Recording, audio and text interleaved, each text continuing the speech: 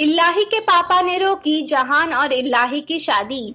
इल्लाही और जहान हुए अलग। कलर्स टीवी शो जुनूनियत के अपकमिंग एपिसोड में हमें ये देखने मिलेगा।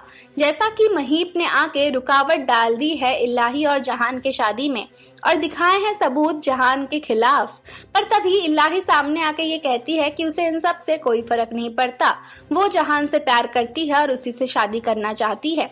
जब जहान इलाही का हाथ पकड़ के उसे मंडप की ओर ले जा रहा होता है, तब इल्लाही के पापा इलाही को रोक लेते हैं, और जहान से करते हैं सवाल। इल्लाही के पापा जहान से ये पूछते हैं कि मुझे बस एक सबूत दे दो, जिससे मैं मान जाऊँ कि तुम सच बोल रहे हो। पर जहान के पास इसका कोई जवाब नहीं होता। इसीलिए अमर चिल्ला चिल्ला कर ये कहते हैं कि अब ये शादी नहीं हो सकती। मैं इलाही की शादी जहान से तोड़ रहा हूँ। पर इल्लाही का रो रो कर हो जाता है बुरा हाल। वो जहान को गले लगाकर रोने लगती है और अपने पापा से जिद करती है। पर घर वाले उसकी एक नहीं सुनते और तोड़ देते हैं इल्लाही और जहान की शादी।